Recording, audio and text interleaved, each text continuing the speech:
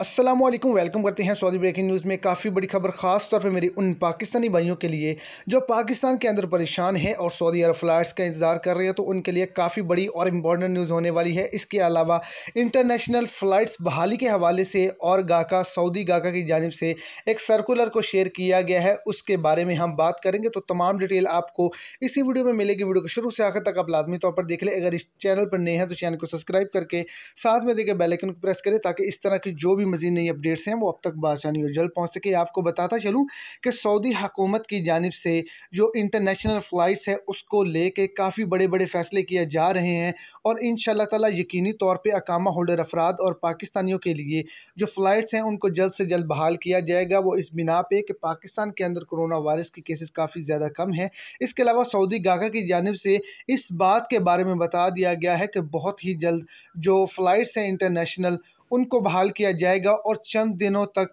जो लिस्ट है ममालिक की, वो लग जाएँगी और किन ममालिक के लिए फ़्लाइट्स हैं, बहाल करेंगे, उनके बारे में बता दिया जाएगा। इसके अलावा आपको बताते चलूँ कि सऊदी अरब के अंदर जो कोरोना वायरस के मरीज़ रह गए थे, जिनकी वैक्सीनेशन अभी तक नहीं हुई, उनके लिए एहतजाज किया जा रहा है कि वो तमाम तर जो लोग हैं, वो वैक्सीनेटेड हो जाएँ और पाकिस्तान के लिए फ़्लाइट्स को बहाल करने का सबसे बड़ा जो ग्रीन सिग्नल है, वो यही है पाकिस्तान के अंदर जो कोरोना वायरस है, वो काफ़ी ज़्यादा कम है, जिसकी वजह से फ़्लाइट्स को बहाल किया जा रहा है। तो आपको बताता चलूँ कि सितंबर के फ़र्स्ट वीक के अंदर पाकिस्तानी अकामा होल्डर अफराद के लिए जो है, वो फ़्लाइट्स को बहाल कर दिया जाएगा और तेईस तेईस अगस्त की जो मीटिंग है, उसके अंदर भी इन ताला सितंबर का महीना ही होगा।